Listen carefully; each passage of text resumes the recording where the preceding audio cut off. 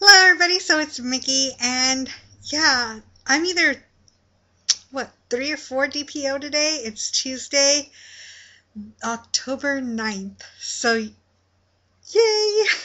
My ovaries finally kicked into gear because I only had to stim 11 nights, which is completely awesome. That does not include my trigger shot, so I'm so happy.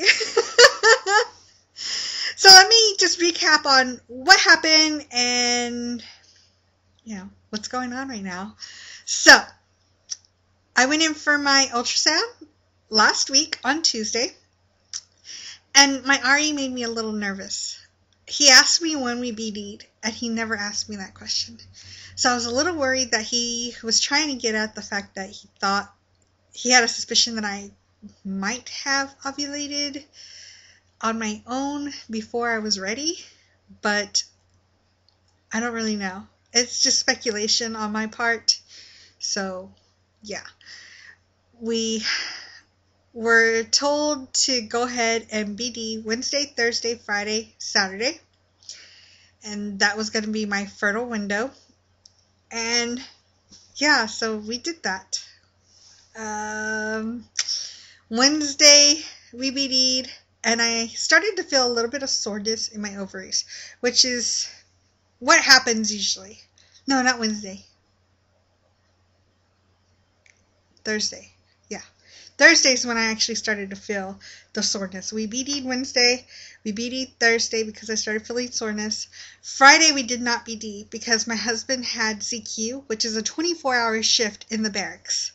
And he just couldn't make it home to try to get a quick little session in, but you know, that's just the way it goes.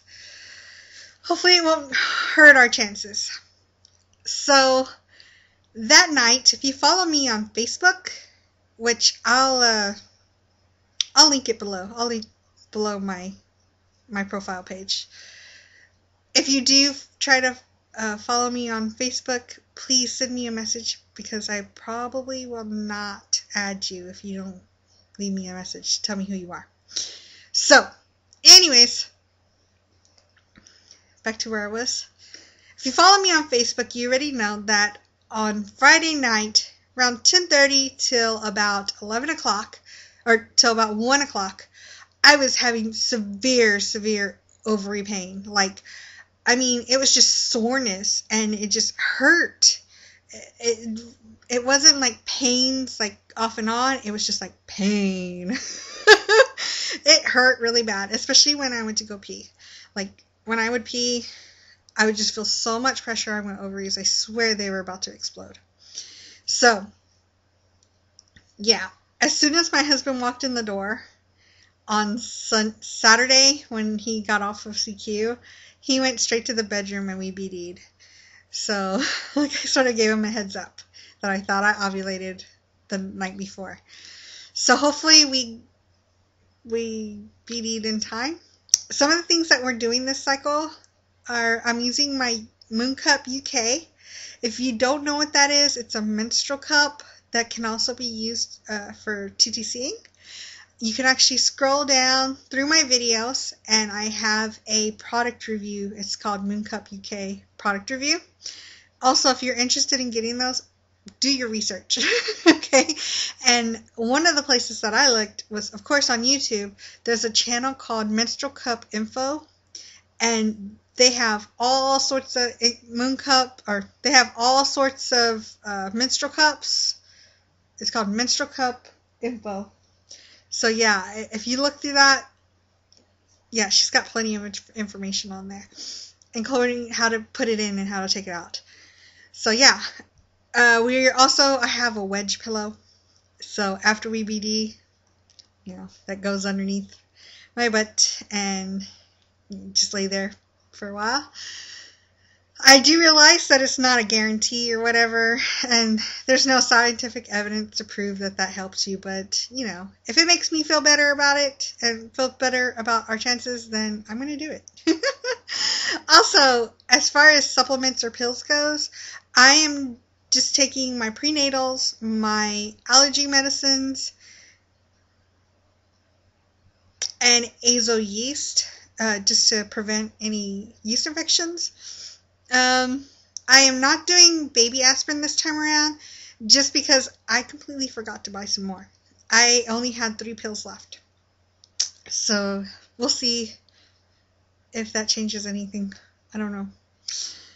I'm also, we didn't, last time we used pre-seed, I was out.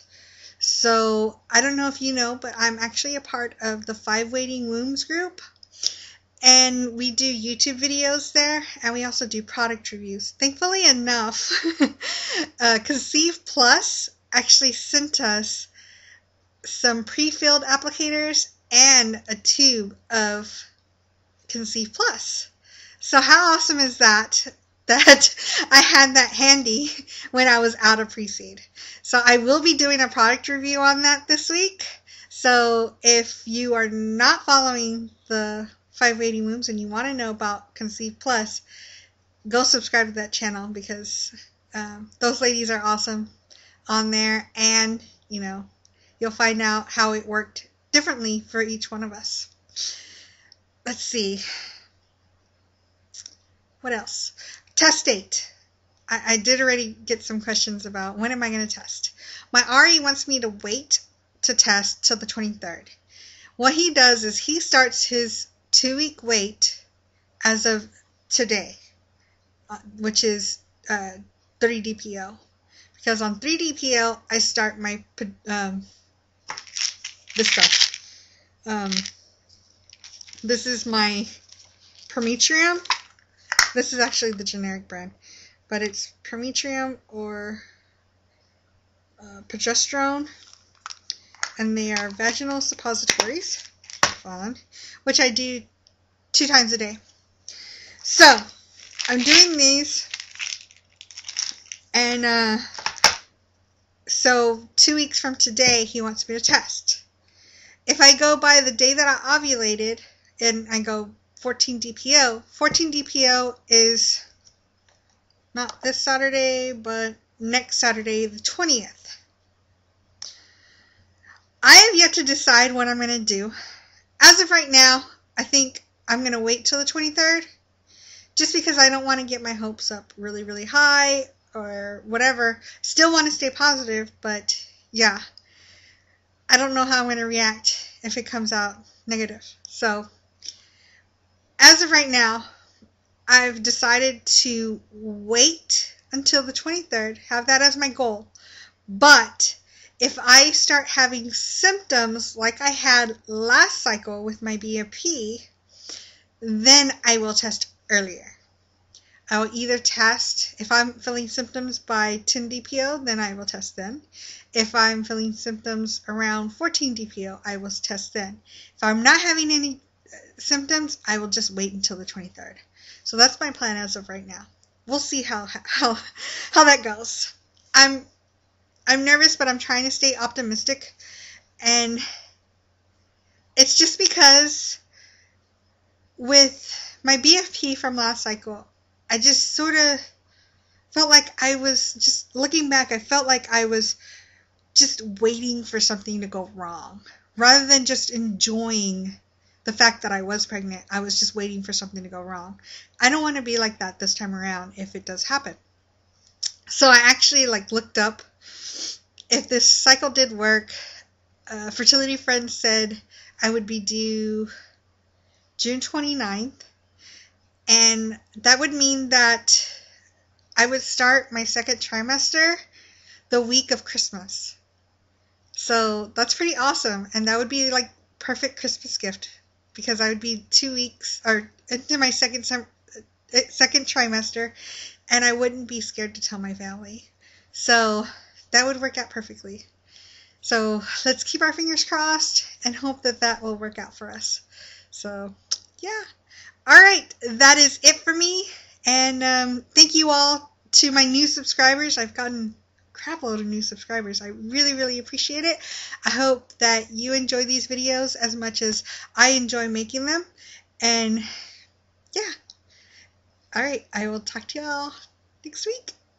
Bye.